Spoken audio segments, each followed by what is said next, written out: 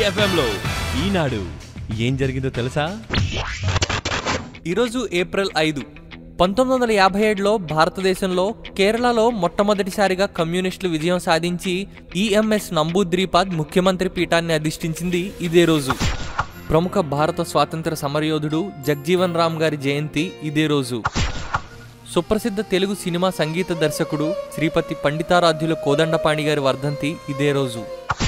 ఈరోజు national maritime day. ఈఎఫ్ఎంలో ఈనాడు ఏం జరిగిందో తెలుసా?